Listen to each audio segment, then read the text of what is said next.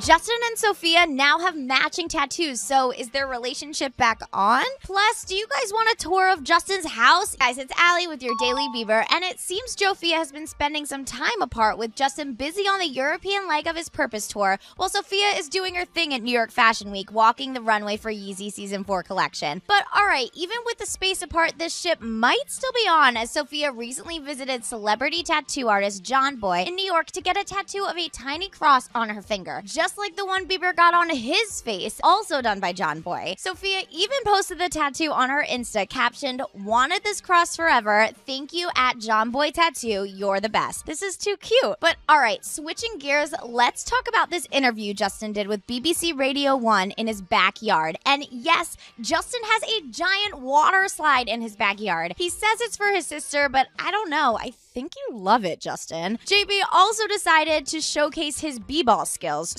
straight butter, per usual. Bam! The other thing here is you never see Justin wearing the same clothes twice, or rarely. And near the end of this interview, you see Justin notices he still has the tag on the shirt he's wearing. Same. But okay, finally, let's talk about something we will never get tired of new Justin music. Jamie just did a feature for Post Malone's new song Deja Vu, and it is awesome.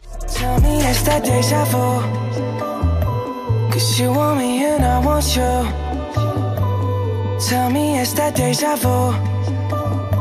Cause baby it ain't nothing no, no. Tell me it's that deja vu?